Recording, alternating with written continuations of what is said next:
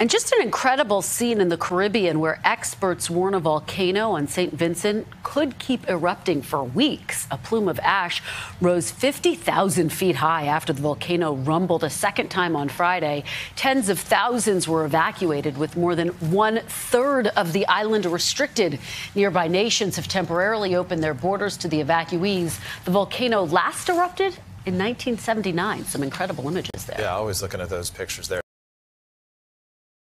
Hey, thanks for watching our YouTube channel. Find your favorite recipes, celebrity interviews, uplifting stories, shop our favorite deals, and so much more with the Today app. Download it now.